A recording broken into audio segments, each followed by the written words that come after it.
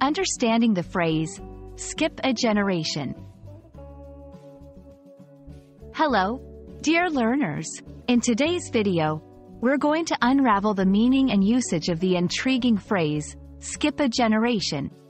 This phrase is not only interesting but also carries significant cultural and familial implications. So, let's dive in and explore what it really means when something is said to skip a generation. The phrase, skip a generation, is often used to describe a situation where a certain trait, characteristic, or property does not appear in one generation but reappears in the following one. Imagine a family trait like a talent or a physical characteristic that your parents don't have, but your grandparents do. If you possess this trait, it is said to have skipped your parents' generation and passed directly to you. In genetics, skip a generation is commonly used to discuss hereditary traits and conditions.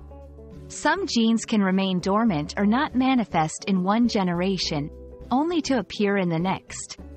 For instance, certain genetic conditions or physical features like hair color, height, or even talents and predispositions can skip generations, making family trees quite fascinating to study. The concept of skipping a generation isn't limited to biology. It can also be applied to behaviors, talents, and interests. For example, a love for a particular craft, like woodworking or painting, might not be prominent in parents but can reappear in their children.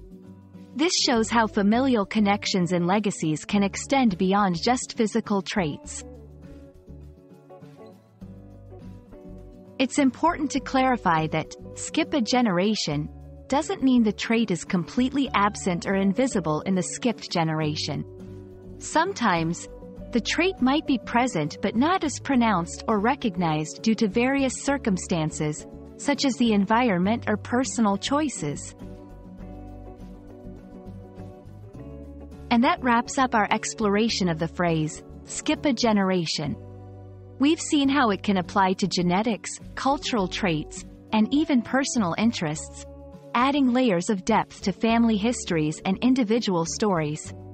I hope this video has shed light on this fascinating concept and enriched your understanding of how traits and talents traverse through generations. Keep learning, and see you in the next video.